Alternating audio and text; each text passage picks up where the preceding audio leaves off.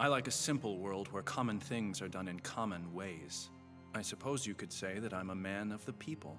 We are ordinary, it's true, and that's why we're doing all this. It's this town that isn't normal. Yes, this abnormal town. How should I put it?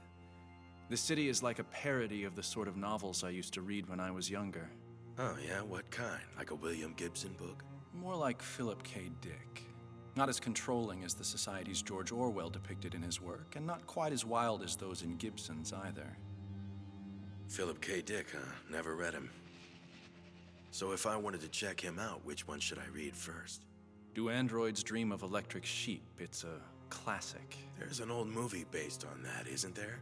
The content's quite different. You should compare them when you have time someday. Then I'll go ahead and download it right now. No. Find the paperback. Ebooks lack character. Got all the same words, don't they? Physical books are more than the words they contain. They're also tools to stimulate your senses and adjust your thinking. How do you mean?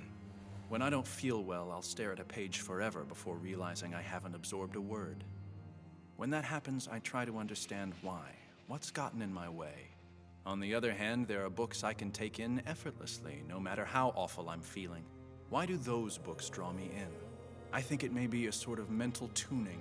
It's the feeling of the paper against my fingers, that familiar smell of pulp and glue, the momentary stimulation to my brain when I turn each page. These sensations regulate and focus my brain. They make it work better.